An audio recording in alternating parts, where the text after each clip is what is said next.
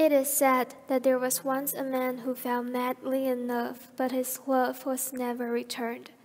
He was at the time the chief of his empire, with his power ranging from this island to the farthest edge of land and sea. No one has ever seen his face, only his back and his shadow. Mysterious as he might have seemed, he was widely known to be kind to his people and merciful to his enemies. Worldwide ambassadors, exotic merchants, and alluring women rushed towards the sacred dwelling of the empire, hoping to peek a glance or even befriend this powerful yet kind hearted lord of their realm. Yet none of them succeeded. It is not until one day that a little girl accidentally discovered the true identity of the emperor that people started to fight hand in hand and peace has never shown its existence till this day.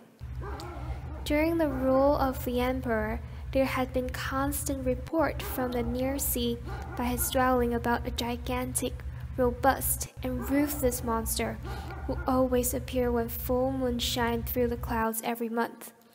Some thought it as a mutated beast, some thought it as a werewolf, but the Lord never took care about it. It had footprints of a hound, body of a strong human, and eyes that glow in the dark. Fishermen always find dead fish on the shores on the next morning of the full moon. The girl was named Helena, who was washed on the shores in a shipwreck and was exhausted and badly injured. Her head was bleeding with the salt water dripping from her torn clothes, and all she had left was a torchlight that wouldn't last for long.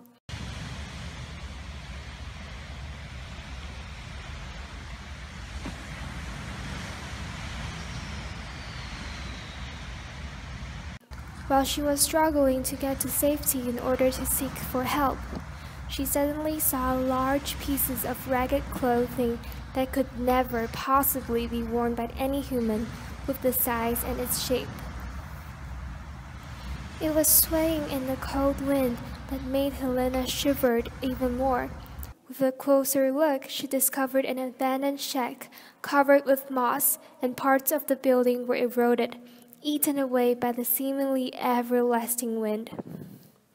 A storage room whose door was widely open appeared in front of Helena's sight, using her last surge of energy, hoping to find some food or supplies, but all she found was sealed bags and boxes with a disgusting, rotten smell suffocating the air itself.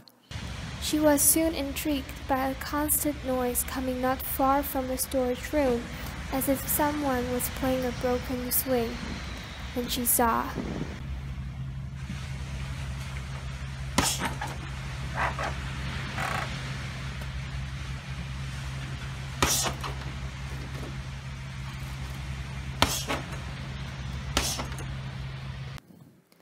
Helena ran for her life and woke every villager up that night. People carried their torches and weapons, approaching the wooden shack with extreme care and silence. When they arrived at where Helena was, they saw nothing of a monster or a hound. Instead, hundreds and hundreds of dead and rotten fish were left on the ground, with the emperor's sword covered in sand and a note written in blood. Helena, you were my love at first sight.